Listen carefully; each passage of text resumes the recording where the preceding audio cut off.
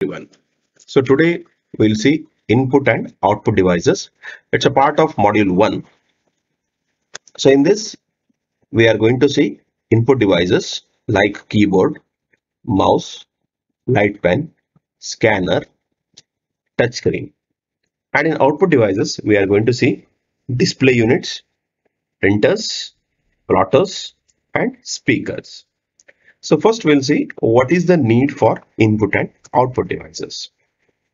So the output and input devices provides means for user and computer interaction. So if you want to interact with the computer, you need either an input or a output devices. So here output devices are of two types, hard copy devices and non-hard copy devices. So firstly, we'll see what exactly is a input device. So input devices are used to enter the data or instruction. So if I want to enter any data, I need a input device. So input devices are keyboard, mouse, trackball, joystick, some touch panels and scanner. So first we'll see what exactly is a keyboard. So keyboard is most commonly used, most effective input devices through which we can type the data or instruction and we can insert the data into a computer. So it is similar to your typewriter. So it uses the same keypad of typewriter. So it has some set of keys like character keys, alphabet keys you can say. Then it has something called as numeric keys, function keys and some special keys. So character keys, alphabet keys you can say A to Z alphabets you have and numeric keys a numbering you have from 0 to 9 function keys used for special functions like f1 to f12 functions we have. Then some special keys we have like shift caps lock control alt and everything to perform some special tasks. The next is mouse. So mouse is also an input device. So mouse stands for mechanically operated user serial engine. So it is a pointing device normally we use to move the cursor on a screen and even for selection of the particular data in a computer. So the different types of mouse that are available or that have been used are mechanical mouse, optomechanical mouse and optical mouse.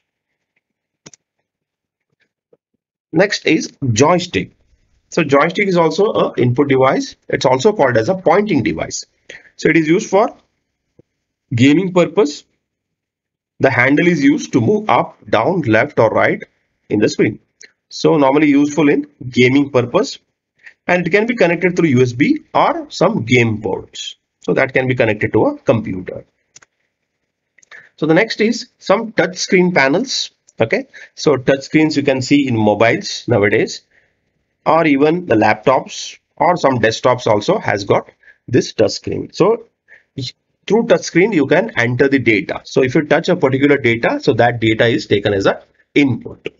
So it uses sensors that detect touch actions that is possible to issue the instruction to the computer. So it has got internally a sensors which will sense what data we have selected and that is given to a computer internally.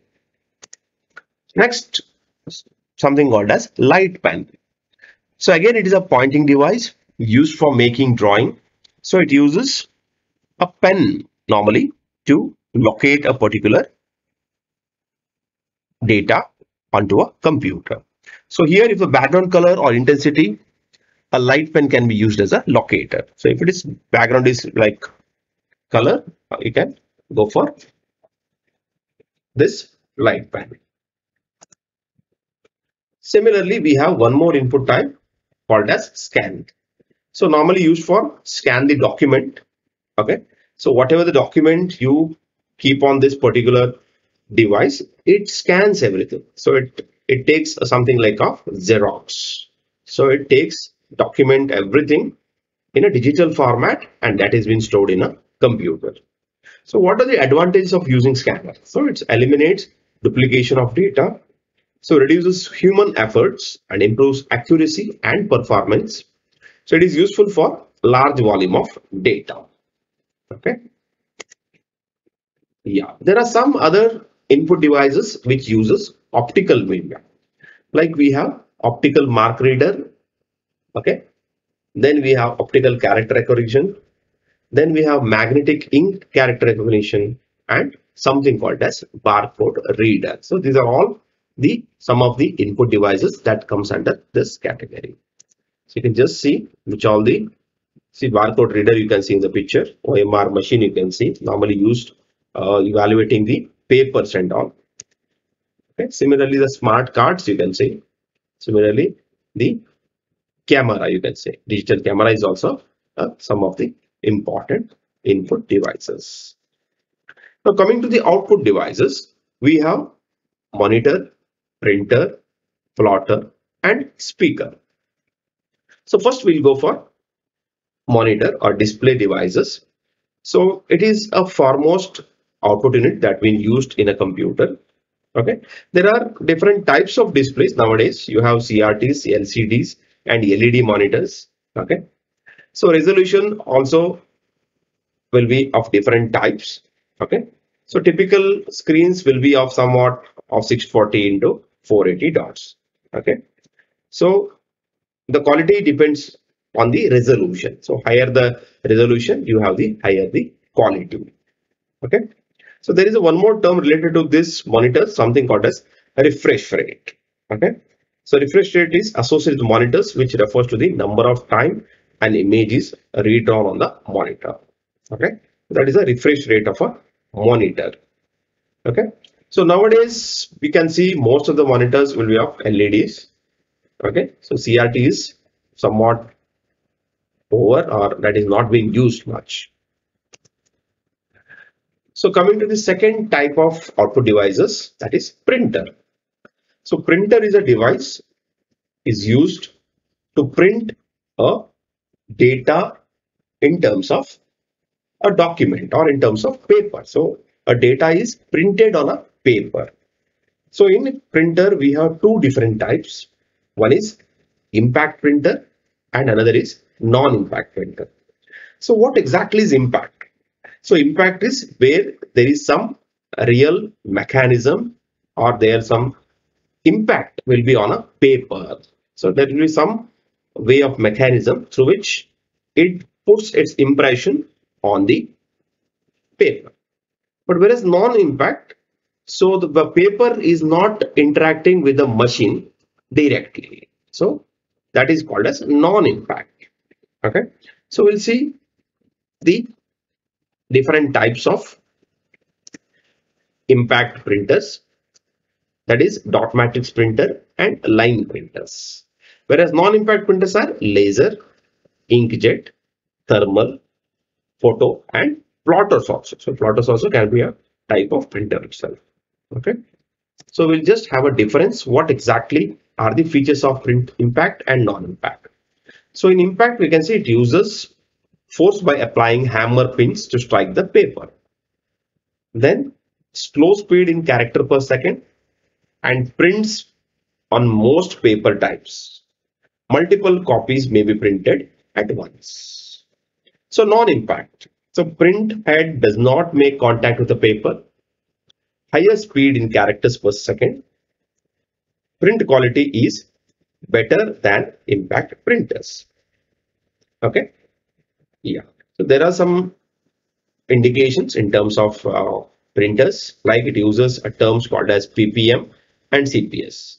Okay. So ppm for pages per minute, characters per second CPS. Printer resolution is expressed in dots per inches.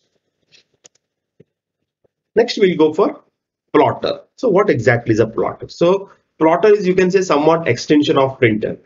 So wherein if you want to print a large document or some drawings or some quality picture on a large sheet. So then we can go for plotter.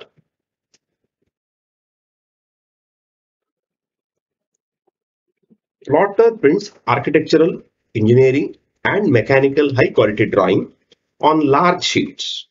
So plotter draws lines on paper using a pen. So it uses a pen or pencil or any other drawing equipment required for a printing purpose. So it moves across the paper. So this pen is moved across to the paper whenever it is printing.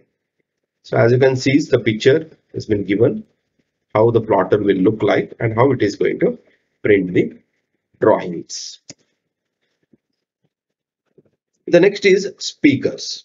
So speakers normally used to listen the music or audio from a computer. So these are the output devices through which you can listen music. So speakers requires device driver software to be installed in the computer for proper functioning. Okay. Even it requires something called a sound card that is built in in the motherboard itself. So speakers are used to provide sound or audio output. Speakers are used in computers commonly to listen music. That finishes the session. Thank you.